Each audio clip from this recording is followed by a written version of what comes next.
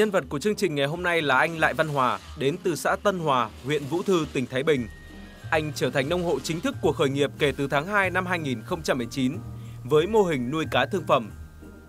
Hãy cùng nhìn lại hành trình của anh trong 6 tháng vừa qua.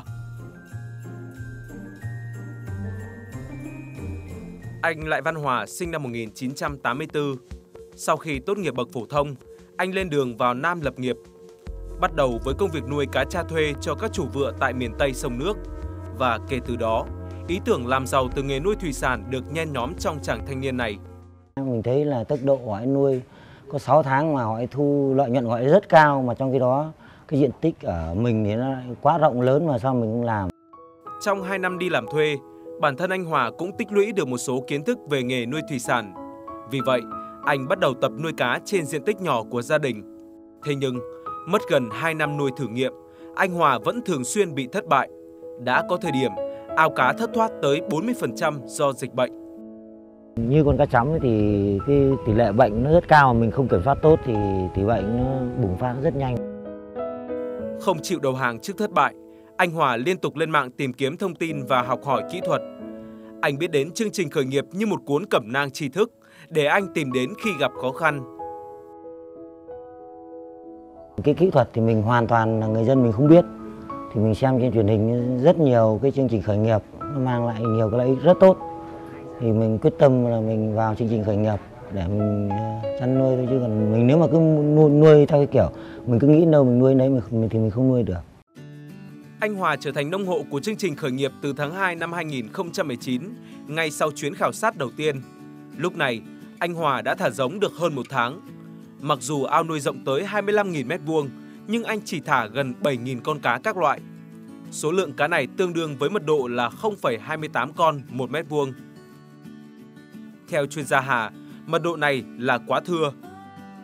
Để tận dụng diện tích mặt nước và tăng hiệu quả nuôi thả cá, anh Hòa cần tăng số cá chấm trong ao.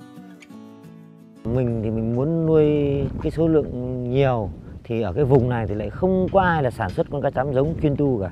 Nên mình đi cũng đi nhiều nơi lắm rồi nhưng mà mình mua cũng hiện cái cá mà biểu tầm 5 đến 8 lạng là mình mua đây là cực kỳ khó khăn. Chuyên gia Hà đã giúp anh Hòa kết nối với anh Nguyễn Văn Hoàng, một nhân vật của khởi nghiệp. Đầu tháng 3 năm 2019, anh Hòa sang nhà anh Hoàng nhập cá giống như đã hẹn. Nhưng do sơ suất của anh Hoàng khiến cá bị bệnh, anh Hòa đã không thể nhập được cá giống. Sau nhiều nỗ lực, tháng 3 năm 2019, anh Hòa đã tự mình tìm hiểu và đặt mua được 1.000 con cá chấm biểu từ 4 tới 7 lạng một con. Tuy vậy, niềm vui chưa kéo dài được bao lâu, ao cá của gia đình anh bỗng nhiên xảy ra chuyện.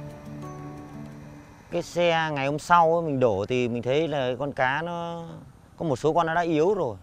Thế là mình nó chết ngay thì nó không chết nhưng mà mình đổ xong ngày hôm sau mình đi xung quanh bờ ao thì nó đã có một số con nó yếu biểu hiện yếu. Theo chẩn đoán của chuyên gia Nguyễn Thị Hà, nguyên nhân cá chết là do bị mắc bệnh do vi khuẩn. Đây là loại vi khuẩn gây bệnh khá phổ biến trên đàn cá chấm, đặc biệt là vào những giai đoạn chuyển mùa, đàn cá có thể chết từ 30 tới 70%.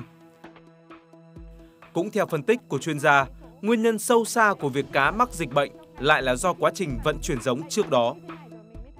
Là cái cá mà mình mua về là nó béo, à, nó sẽ bị bầm dập đấy. Nhìn ra thì mới biết nó bị bầm dập chứ còn nếu mà cháu nhìn bằng mắt thường khi mà nó bình thường là không biết nó là bị bầm dập đâu khi mình thả xuống. Theo chuyên gia Hà, đàn cá giống của anh Hòa mua về chưa được luyện ép tốt. Vì vậy, khi vận chuyển, lượng phân mà chúng thải ra môi trường nhiều. Trong điều kiện đó, các vi sinh vật yếm khí sẽ sử dụng oxy trong nước để phân hủy chất thải, dẫn đến làm giảm nhanh lượng oxy hòa tan trong nước, đồng thời làm tăng lượng khí ammoniac. Sống trong điều kiện này, cá sẽ bị yếu, sức chống chịu kém. Cùng với mật độ cá lớn trong diện tích hẹp, cá sẽ bị tổn thương, xây sát. Đây sẽ là kinh nghiệm xương máu để anh lưu ý cho việc nhập giống ở những lứa nuôi tiếp theo. Với lứa cá này, chuyên gia Nguyễn Thị Hà đã kịp thời cung cấp phác đồ điều trị. Tuy nhiên trong lần kiểm tra này, chuyên gia phát hiện thấy nguồn nước trong ao nuôi có vấn đề.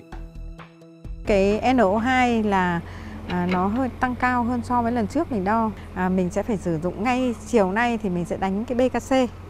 Đánh BKC xuống để thứ nhất là nó tiêu diệt toàn bộ các cái mầm bệnh có ở trong môi trường nước cũng như là diệt khuẩn tất cả các cái vi sinh vật ở trong ao để cho làm cho cái ao nước ao nó sạch đi. Gần 5 tháng trôi qua, liệu anh Hòa có thực hiện tốt những khuyến cáo của chuyên gia hay không? Và liệu sức khỏe của đàn cá cũng như môi trường ao nuôi có được cải thiện hay không? Tất cả sẽ có trong những phút tiếp theo của chương trình.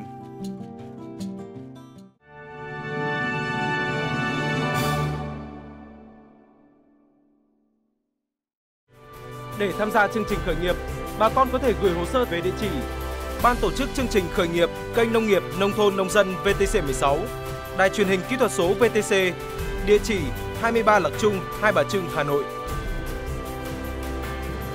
Hồ sơ đăng ký gồm 1. Đơn xin đăng ký tham gia chương trình, nêu rõ kế hoạch sản xuất, diện tích, số vốn, số người tham gia.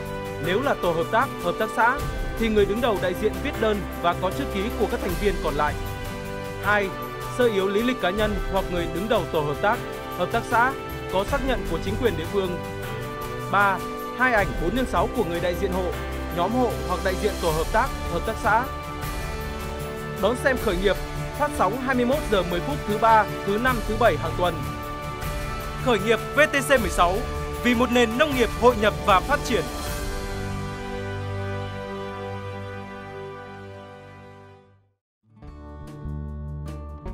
Hiện tại, anh Lại Văn Hòa có 3 ao nuôi cá. Ao số 1 và số 2 có tổng diện tích là 17.000 m2, đang ương nuôi cá giống. Ao số 3 có diện tích là 25.000 m2, đang thả nuôi cá chấm cỏ, cá chép và cá rô phi thương phẩm được 7 tháng. Dự kiến cuối tháng 9 năm nay sẽ cho thu hoạch. Mình thả từ tháng 2 bắt đầu nhập giống về thì mình nuôi đến tháng 10 thì mình thu dự tính là ao cái thịt sản lượng của nó là 20 tấn chấm chép. Với còn cá giống thì cá giống thì đang chỉ tiêu của ao số 1 với ao số 2 thì là mình đang làm là 20 tấn chấm chép cả hai ao. Cách đây 5 tháng, đàn cá thương phẩm tại ao số 3 bị mắc dịch bệnh do vi khuẩn và trùng mỏ neo gây hại. Dù đã đưa ra phác đồ điều trị kịp thời, giúp cá khỏi bệnh, nhưng chuyên gia Nguyễn Thị Hà vẫn lo lắng dịch bệnh sẽ ảnh hưởng đến tốc độ tăng trọng của cá. Do đó, công việc đầu tiên trong ngày hôm nay, chuyên gia Hà sẽ kiểm tra ao cá thương phẩm.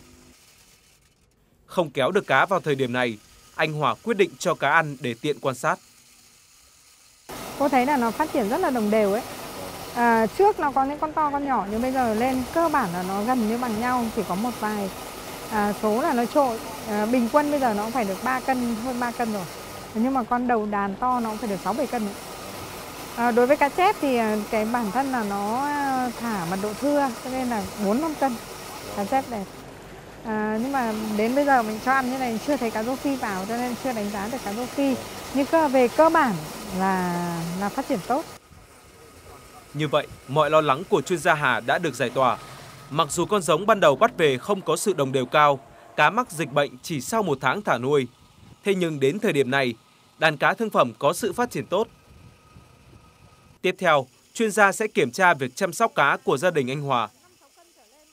Thế còn à, à, với lại cái đàn cá như này thì mình một ngày là mình cho ăn 5 bao.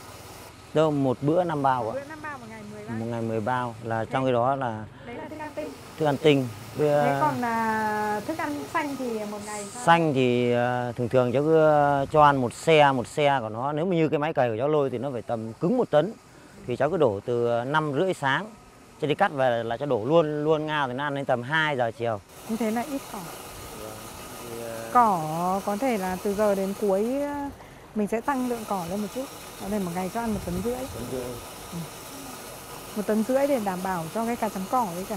Cá chấm cỏ bây giờ là đang ăn rất là nhà nhiều. Bởi vì nó đồng đều nó khoảng 4, 3, 4 cân, 5 cân rồi.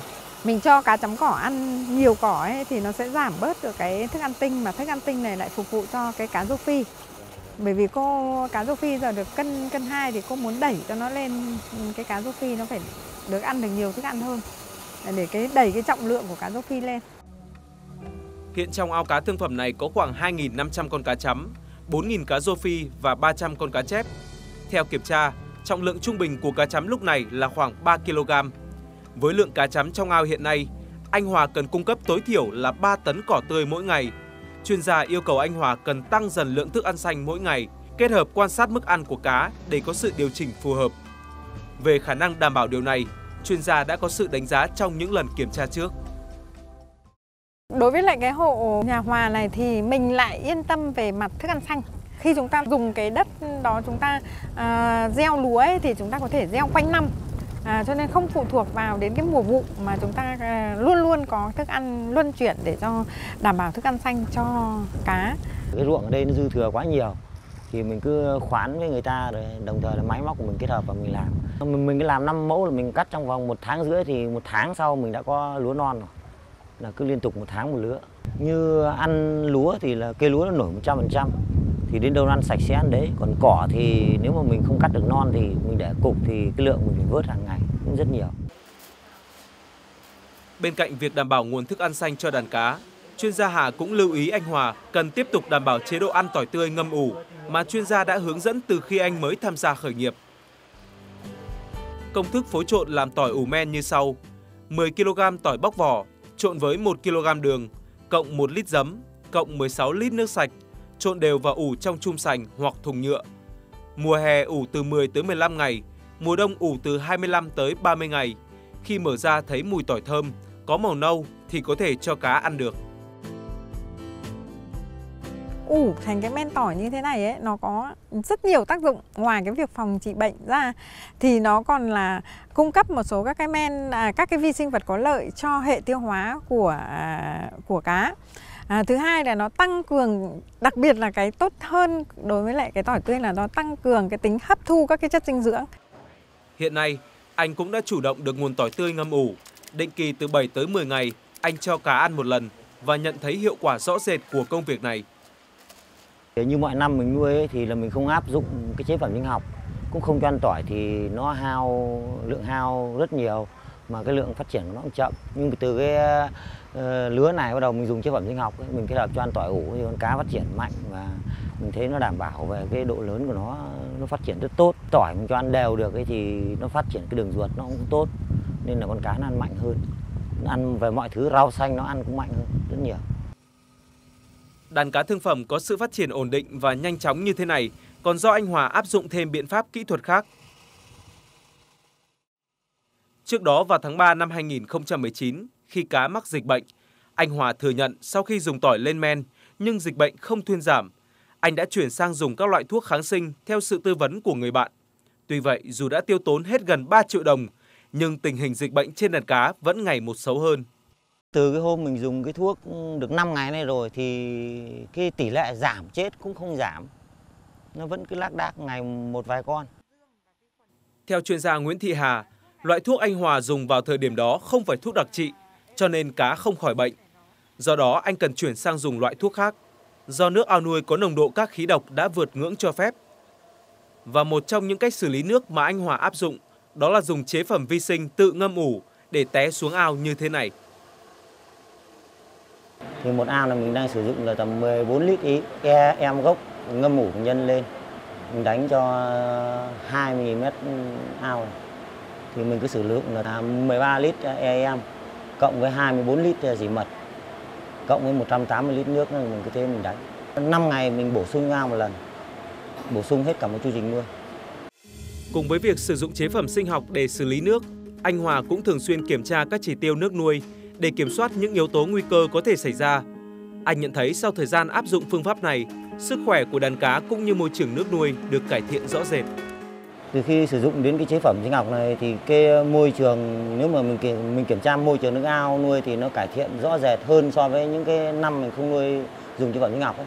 Thì giờ là có hai cái khí độc mà nó nguy hiểm cho để mình nuôi trồng thủy sản thì là mình đánh cái này xuống mình đánh định kỳ là hầu như là hoàn toàn không có.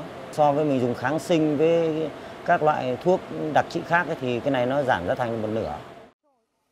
Bằng chứng của điều này là trong buổi kiểm tra hôm nay, chuyên gia Hà nhận thấy sức khỏe và tốc độ phát triển của cá rất ổn định.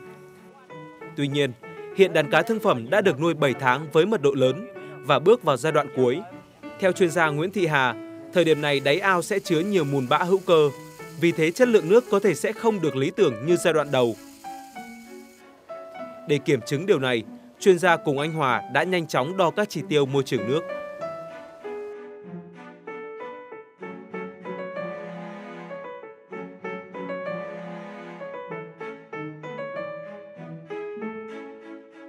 Cái oxy thì à, đúng là cái ao nó nhiều tảo như này ấy, thì là nó à, về nửa đêm về sáng ấy là nó bị oxy nó sẽ xuống hơn như bây giờ có mặt trời rồi bắt đầu tảo bắt đầu là ở dạng quang hợp thì oxy bắt đầu tăng từ từ nhưng mà chắc chắn là lúc khoảng độ 3 4 giờ là cá nổi đầu. Mà hôm nay ấy thì lại là ảnh hưởng của áp thấp nhiệt đới chính vì thế mà cá hôm nay là rất là nổi đầu mà bản thân mình ngồi trên này đang thấy khó chịu về cái thời tiết. Thì ở đây ấy, thì cái NH3 trên NH4 bằng 1 thì nó đã vẫn nằm trong cái khoảng cho phép. Thế tuy nhiên là nằm ở trong ngưỡng ngưỡng cao, không phải ngưỡng thấp. Mình cũng phải lưu ý đến cái màu nước, đến cái cái tảo ở trong nước buổi chiều là cố gắng vớt hết các cái bọt cái phân à, của chấm cỏ nó nổi lên ấy NO2 0,5 mg trên lít thì nó cũng là tôi nghĩ là nó bình thường ở trong cái giai đoạn cuối vụ nuôi mình đã nuôi được 7 tháng rồi và với cái mật độ cá ở trong ao như thế này thì à, cũng không không nên quá lo ngại để mà xử lý vội vàng. Như vậy, các chỉ số oxy hòa tan cũng như một số khí độc trong ao đều không phải lý tưởng. Tuy nhiên, với thời tiết chuyển biến xấu như những ngày này, cùng với nguyên nhân là ao cá đã nuôi trong thời gian dài, thì có những chỉ số như thế này là điều hoàn toàn có thể lý giải. Công việc cần thiết bây giờ là anh Hòa cần theo dõi sát sao hoạt động của đàn cá, cũng như môi trường ao nuôi để có những đánh giá chính xác. Cũng trong buổi kiểm tra ngày hôm nay, anh Hòa đã đưa ra ý tưởng mới trong việc xử lý vi sinh cho ao nuôi. Cô xem cháu cái chế phẩm sinh học mà cháu cho vào cái thùng kia không có một cái đường ống mà nó dẫn ra cái cái cái quạt khí đấy thì cháu xả ra để cho quạt khí nó đẩy trôi thì cô xem cái hiệu quả của nó có tốt. Cái lưu ra mình đổ lượng nhiều cho ra cái ống đấy không? Đổ liên tục thì nó rơi tầm khoảng cỡ 35 40 phút thì hết được khoảng cỡ 200 lít. 200 lít. Thế là mình cứ phải đứng đấy. Thì mình cứ sách mình đổ đầy cho nó khi nào chảy hết bắt đầu mình rửa thùng. Thay vì phải chèo thuyền khắp mặt ao để té chế phẩm vi sinh, anh Hòa sử dụng một đường ống dẫn từ thùng phi chứa chế phẩm vi sinh đặt trên bờ ao xuống vị trí quạt nước. Sau đó nhờ sự vận hành của quạt nước để dẫn chế phẩm vi sinh lan trải khắp mặt ao. Cách làm này theo anh sẽ giúp tiết kiệm công sức, nhất là những ngày có gió không thể nào chèo thuyền được. Liệu cách làm này có được chuyên gia ủng hộ hay không? À, cái đấy nó rất là phù hợp với lại cái nhà ao có cái diện tích nhỏ. À, cái thứ hai là cái việc bố trí quạt nước của mình à, nó phải làm sao mà cái nó đảo đều được nước trong toàn bộ các cái ao, mặt ao của mình. Tức là có thể rằng là bốn góc ao cháu phải đặt bốn cái máy quạt. Thì khi mà mình đưa chế phẩm sinh học như vậy thì nó sẽ đảo đều nước và nó phân tán ra khắp ao. Thế nhưng mà với cái diện tích 7 mẫu ao của mình như này nó quá lớn mà cháu chỉ đặt có hai cái quạt, thì hai cái quạt thôi. Thì khi mà mình đổ vào như thế thì về nguyên lý nó sẽ đẩy đi khắp ao. Nhưng mà thời gian nó xảy ra rất kéo, rất là dài và lâu. Thế chính vì vậy mà nó không thể đảo đều, đưa đều các cái vi sinh, cái cái chế phẩm sinh học đấy đi khắp mặt ao của mình. Đặc biệt là đối với lại ở cái góc ao này, đấy, mình thấy là cái phân nó nổi lên rất nhiều mà trong đấy mình cần là nó phân hủy các cái nguồn bã.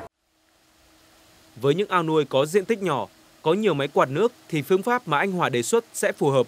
Tuy nhiên, với điều kiện ao nuôi hiện tại rộng lên đến 25.000 m2 mà chỉ có hai máy quạt nước ở hai góc thế này thì cách làm hiệu quả nhất vẫn là chèo thuyền để tạt vi sinh khắp mặt ao. Mặt khác, khi té vi sinh, chúng sẽ từ từ ngấm xuống, lơ lửng ở tầng giữa, tìm gặp các loại chất thải, mùn bã hữu cơ để phân hủy, từ đó sẽ làm hạn chế lượng khí độc dưới đáy ao. Nếu sử dụng quạt nước, chế phẩm vi sinh sẽ nhanh chóng bị hòa tan, ngấm xuống đáy nên hiệu quả phân hủy chất thải sẽ không cao. cháu nhìn thấy hoàn toàn khi mà quạt đẩy nó chỉ cái cái gia tốc của nó không lớn không đủ lớn nó chỉ đẩy được một đường thẳng xuống dưới cuối ao. Và nó không tạo được cái dòng xoáy quanh ao như là những cái ao có diện tích nhỏ. Đấy nó không đều được. Và cái chỗ nào mình cần nhiều nhất ví dụ như là cái chỗ cho ăn này. Cho ăn này là cái chất dư thừa nó nhiều. Thức ăn dư thừa rồi là mùn bã cỏ uh, nó nhiều. Và cái chỗ này là nó cũng là cái phân phân chống cỏ nó thải ra nhiều. Thì mình cần phải bổ sung nhiều các vi sinh vật vào trong đấy để nó phân hủy nhanh cho vào thuyền mình đi té đều khắp mặt ao là rất là tốt mà thời gian nó cũng chỉ mất khoảng độ 3 40 phút thôi. Mình cứ phải đi thuyền để mình té đều tạt khắp mặt ao là hiệu quả nhất. Như vậy với ao nuôi cá thương phẩm xét về tổng quan, chuyên gia đánh giá tốt và kỳ vọng về một lứa cá thành công. Có được điều này là nhờ vào sự cần cù, chịu khó học hỏi và thực hiện đúng các yêu cầu chuyên gia đưa ra của anh Hòa.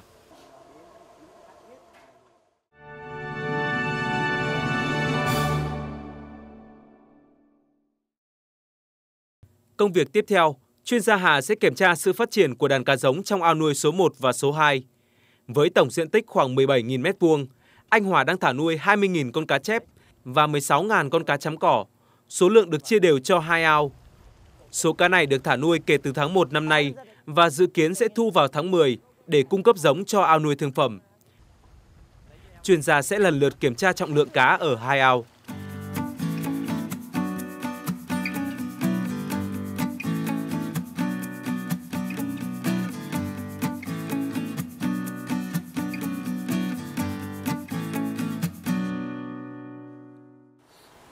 Một cân rưỡi và 5 con là 0,3 kg trên con. Cá này là bị hơi bị ấy rồi, chậm, chậm lớn. Như vậy, cá ở ao số 1 phát triển chậm hơn so với mức tiêu chuẩn là từ 5 tới 7 lạng một con. Chuyên gia sẽ tiếp tục kiểm tra cá ở ao số 2.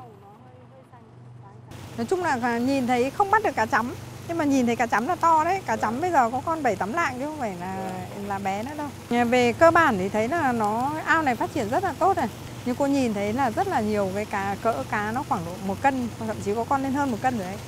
Thế tuy nhiên rằng là hai cái ao mà kích cỡ ao bằng nhau và cái, cái chế độ chăm sóc cho ăn bằng nhau như cái ao bên này là chúng ta cái kích cỡ nó bé hơn. Tức là nó chỉ đạt khoảng độ 3 4 lạng một con thôi. Thế thì cái việc mà mình cho ăn đấy là sau này cháu phải à, xem xét lại là phân bổ đều thức ăn nhé. Cùng thả giống một thời điểm, cùng một chế độ chăm sóc cũng như thức ăn. Thế nhưng tại sao ở ao nuôi số 1 cá lại phát triển chậm hơn cá ở ao nuôi số 2? Cá thì cháu thả cùng ngày. Thứ nhất là bên đây cái nguồn nước nó thấp hơn này, với cái thứ hai là cái cuối năm ấy mình tận dụng toàn bộ cái mặt bằng này mình làm lúa thì mình lại cắt trong vòng 2 tháng thì nước mình để nông rồi ngày nào cũng 4 năm người lội cắt nó cũng động ao nên con cá lúc ấy mình hất cam viên là nó không về nó ăn nhưng bên bên đây là về ăn ngay Đấy là cháu chỉ nghĩ con cá nó bé hơn là do cái tội là hai tháng đầu năm, cái lúc cháu chuyển cá là cháu ngày nào cũng xuống cắt lúa, với vận chuyển vào, ao lúc nào cũng động, con cá nó không dám ăn. Thì nên nó nên nó mới bé hơn thôi cô. Như vậy nguyên nhân đã được chỉ ra. Mặc dù cùng chế độ chăm sóc cũng như thời điểm thả nuôi, thế nhưng vào khoảng tháng 1 tháng 2 năm nay, khi mực nước ở ao số 1 giữ thấp, anh Hòa đã tận dụng để gieo trồng lúa non, cung cấp thêm thức ăn cho cá trong khoảng thời gian đó, hoạt động thu hoạch lúa diễn ra mỗi ngày. Có thể đây là lý do khiến cá ăn ít, kém phát triển trọng lượng. Do đó lúc này, anh Hòa phải điều chỉnh thức ăn tại ao nuôi số 1 để giúp cá tăng trưởng tốt hơn. Cho đang tính là mai à, cho kích à, cho nó ăn một thời gian ăn còn tầm một tháng cái là độ đạm 35 còn bên đây cứ cho ăn 30. Đúng rồi. Sẽ tăng độ đạm cho cái ao bên này lên để cho nó tăng cái kích, kích cỡ lên chứ nếu mà như thế là nó hơi chậm à, chậm hơn như thế là tốt rồi đấy à, thì đến tháng 10 này chắc chắn là cái cỡ cá chép chép mà đợi biểu độ cân 2 đến cân rưỡi là đảm bảo đủ số lượng để cho cháu thả sang bên ao bên kia nhìn chung cá ở hai ao giống có sự phát triển khá tốt dự kiến sẽ cung cấp đủ giống cho ao nuôi thương phẩm của gia đình anh Hòa vào dịp cuối năm nay. Tuy nhiên, quan sát bằng mắt thường, có thể nhận thấy nước ở hai ao nuôi cá giống đục hơn nhiều so với ở ao nuôi cá thịt. Cháu có biết nguyên nhân tại sao mà nước ao cá giống nó đục hơn ao cá thịt không? Vì ờ, cái ờ, cái ao này là giờ ao của mình là nuôi chuyên về cá chép. Nên cái lượng nó cày thì cái bờ ao của mình là bờ đất. Thì mình khắc phục được ờ, từ dân cuối năm cho thu hoạch xong rồi sẽ khắc phục bê tông để mình nuôi cho nó đảm bảo. Chứ thế này là nó vào nó ăn là đục. Nó cày đục là cho biết nó cày toàn bộ bờ này ra. À, thứ nhất ấy, nó sẽ cày làm cho vợ lở bờ cái thứ hai nữa ấy là nó sẽ đục nước mà đục nước thì nó sẽ không tốt cho cả chấm cỏ. Chính vì vậy mà tốt nhất là sau khi thu hoạch xong thì cháu nên là kè bê tông, giống như ao cá thịt kia. Thì nó sẽ đảm bảo được cái nguồn nước tốt mà chất lượng nước nó tốt hơn so với lại cái ao nuôi bây giờ. Ừ, Nhé thông thường với những ao mới đào hoặc thả những loại cá sống đáy như cá chép, cá sẽ cày đáy làm đục nước. Hoặc có thể trước đó có những trận mưa to làm xói lở bờ, kéo theo chất thải xuống ao gây đục nước. Với ao cá giống của anh Hòa, nguyên nhân chính là do sự hoạt động của cá chép trong điều kiện ao bờ đất. Nguyên nhân này cần được khắc phục sau khi thu cá vào tháng 10 năm nay. Cháu à, có nhận xét gì về cái con cá mình nuôi cái đợt cá giống chủ động này với lại các cái đợt trước bắt cá giống của con cá chép hay con cá chấm không? Như cái con cá chép như năm nay cháu nuôi nhiều này thì chứ chưa bao giờ cho nuôi cái cá chép mà nó cả cho cảm giác như mắt nó nhìn nó nó đồng nó đồng đều như này. Cá thì mình nuôi cái mắt thường của mình, mình nhìn cái tỷ lệ đồng đều nó lên 70% rồi. Còn cái lượng bé nó không đáng là bao nhiêu cả. theo như ý của cháu thì cái con cá này nó trường cá nó dày mình hơn. Và như cái cho nhìn đi thì cái cảm quan ấy cái cái độ độ sáng của nó như bây giờ cái cái nguồn nước này nhưng cái vây của nó cho đã nhìn thì nó lên màu rồi. Nó cho đã nhìn thì nó là nó đẹp rồi cái cá chép này nó phải lên có cân rưỡi hai cân ấy thì lúc ấy cái vảy nó to và cái màu nó đẹp lúc ấy mình mới thấy rằng là mình thích cái con cá Kể từ khi tham gia khởi nghiệp, tư duy sản xuất của anh Hòa đã có những thay đổi tích cực. Thay vì sử dụng kháng sinh để điều trị bệnh cho cá, anh Hòa chuyển sang ưu tiên các biện pháp phòng bệnh bằng các chế phẩm vi sinh và thảo dược. Nhờ đó, chi phí sản xuất giảm đi một nửa, hiệu quả chăn nuôi cũng được cải thiện. Không chỉ có vậy, giờ đây anh Hòa có thể chủ động được nguồn con giống đáp ứng cho hoạt động chăn nuôi của mình, cũng như những nông hộ khác trong nhóm sản xuất tại địa phương, kiểm soát được nguồn gốc cũng như sức khỏe đàn cá giống. Điều làm chuyên gia Nguyễn Thị Hà phấn khởi hơn nữa, đó là ý tưởng mở rộng sản xuất của anh. Trong tương lai thì cháu đã có một ý nghĩ gì mở rộng sản xuất không? Có tăng thêm nuôi ao ao nuôi cá thương phẩm không? Như như dự tính của cháu mà năm nay mà cháu chuyển sang bên kia mà đủ cái số lượng cá giống mà cháu nuôi nguyện vọng của cháu là nuôi 50 tấn. Còn nếu mà còn dư dư dư thừa cá giống thì cháu vẫn làm thêm một ao cá thịt nữa. Vâng, cháu chỉ đánh giống một bên thôi. Còn bên đây lại tập trung đánh thêm cá thịt nữa. Vì đợt này mình chuyển giống sang dư thừa cứ loại to mình lại nuôi thêm nuôi luôn thành một ao nữa cô vì ao mình nó nhiều cháu lại còn một cái ao, cái ao ba mẫu đằng kia nữa đang ương cá bé hơn ừ thế thì được. Thế có nghĩa là mình mở rộng sản xuất. Vâng. cô thấy có hai cái hai cái điều mới ở đây lần trước về kiểm tra. Tháng tư về kiểm tra. Thứ nhất là không có cái máy ăn tự động này. Vâng, vâng. mà cô rất vui là cháu đã tiếp thu ý kiến của cô là cho ăn bằng máy ăn tự động. Bởi vì cháu thấy đấy cho ăn máy ăn tự động cái khoảng đưa ra nó rất là rộng mà cá ăn được đều. Nó không như là mình hất tay. đấy. Cái thứ hai nữa ấy là là cái chăm sóc mình cái nhìn nhận của mình nó đã khác nó khác đi rất nhiều. Đấy và cái tư duy của cháu là mở rộng sản xuất ấy, thì cô cũng mong muốn thế bởi vì là mình làm là mình đúc rút kinh nghiệm sau đấy mình phải cứ phát triển lên chứ không được tụt lùi. Nhưng mà tăng lên ấy thì ờ, cái lượng mà cỏ để cung cấp cho ao. Cái cỏ thì cái cỏ mà để mà mình làm cái thức ăn xanh cho con cá chấm thì cháu đáp ứng được còn con cá chép thì nó ăn bằng thức ăn viên cháu cũng đáp ứng được. Với những kết quả khả quan đạt được sau hơn nửa năm tham gia khởi nghiệp bản thân anh Hòa tự tin sẽ thực hiện được kế hoạch mà mình đã đề ra. Thì cái mục tiêu của mình là ao cá thịt phải thu hoạch tối thiểu phải là 4 40 đến 45 tấn. Còn không thì sản lượng phải là 50 tấn. Vì đợt này mình chủ động nó con giống 100 trăm. Anh có tự tin không mình tự tin. Mình bắt đầu vào chương trình khởi nghiệp cái lứa cá đầu tiên ấy mình cũng học hỏi được rất nhiều. Cái mà tôi ờ, hài lòng với Hòa ấy là rất là chăm chỉ chịu khó và à, cũng có tính sáng tạo. Khi mà tôi đưa ra vấn đề gì mà thấy hợp lý là Hòa áp dụng ừ, rất là là bài bản và thành công. Đầu tư tâm huyết và cũng để ý. Cho nên hỏi cái gì là có thể nắm bắt được. Và mình cũng đã thử Hòa để hỏi xem là cái nhận thức của Hòa nó như thế nào. Thì Hòa cũng đã nhận thức được những cái vấn đề đấy và mạnh dạn đưa ra cái kế hoạch cho tôi là sang năm cái ao 8 mẫu 7 mẫu này sẽ nuôi đạt 50 tấn hoặc 50 tấn thì tôi cũng đồng ý ngay bởi vì khi Hòa đã quyết tâm như thế thì mình phải kích thích à, cái tính chủ động cũng như cái cái niềm phấn khởi của Hòa để cho à, Hòa có thể đầu tư một cách bài bản và à, chăm chỉ để mà đạt được cái mức đấy. Chỉ còn hơn một tháng nữa, lứa cá đầu tiên với chương trình khởi nghiệp của anh Hòa sẽ cho thu hoạch. Thời gian có thể không quá dài, nhưng với những diễn biến bất thường của thời tiết, khí hậu, khó khăn vẫn còn nhiều trước mắt. Hy vọng với những kiến thức, kinh nghiệm đã học hỏi được, anh Hòa sẽ gặt hái được thành công như mong đợi.